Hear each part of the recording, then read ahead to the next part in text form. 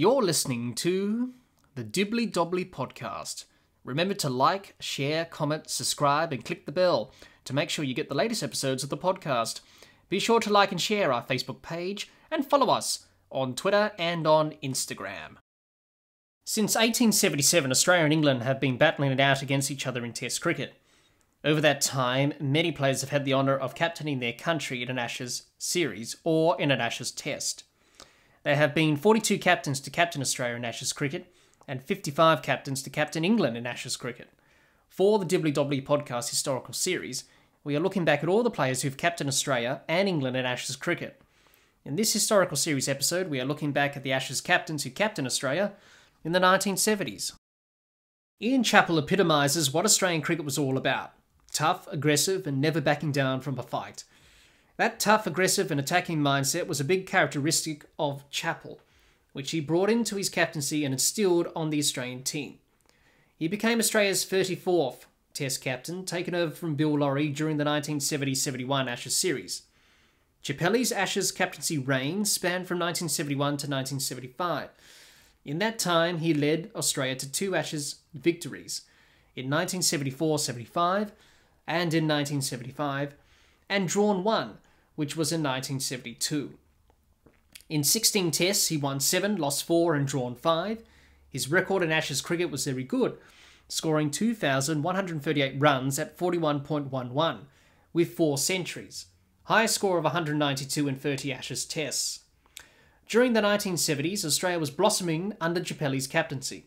For Chappelli, his biggest achievement as captain was winning the 1974 75 Ashes series in Australia a team that had many of Australian cricket's greats Dennis Lillee, Jeff Thomson, Rod Marsh, Greg Chappell, and Doug Walters. Chappelli led Australia to an Ashes victory and saw Australia reclaim the Ashes for the first time since 1968. After his playing days, Chappelli has become a commentator and writer on the game. After a tough start as captain, Chappelli grew and developed into the role as captain and contributed to Australia's success in the 1970s. Greg Chappell was an elegant and stylish batsman on the eye, and is considered to be one of Australian cricket's great batsmen. Taken over from brother Ian as Australian captain, he became Australia's 35th Test captain. His Ashes captaincy reign spanned from 1977 to 1983. In that time, he led Australia to one Ashes series victory in 1982-83 and lost one series in 1977. In 10 tests, he won 2, lost 4 and drawn 4. His Ashes record was good, scoring 2,619 runs at 45.94 with 9 centuries in 35 Ashes tests from 1970 to 1983. Just like his test career, Greg Chappell produced some outstanding performances in Ashes cricket.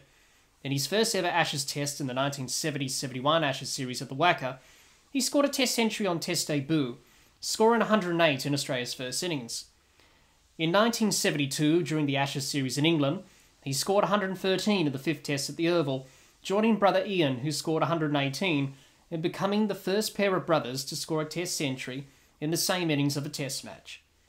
Also in the same series in 1972, he scored 131 at Lords, his first century at the home of cricket. When he retired from Test cricket in 1983, he was Australia's leading run scorer in Test cricket. Graham Yallop took over the Australian Test captaincy in 1978 during the Kerry Packer World Series cricket years and became the 36th Australian Test captain. His Ashes captaincy reign spanned from 1978 to 1979. He led Australia in his one and only Ashes series in 1978 79, which resulted in a 5 1 series defeat. Yallop's only Ashes series as captain was a tough series in 1978 79 he led an Australian team that was very depleted in experience due to World Series cricket. Unfortunately for Yallop, the series didn't go to plan, as England gave Australia a good thrashing. Following the Ashes defeat in 1978-79, Yallop captained only one more Test series against Pakistan before he was relieved of the captaincy. Despite a series defeat as captain, Yallop's Ashes record was reasonable. He scored 709 runs at 28.36 with three centuries with a higher score of 121.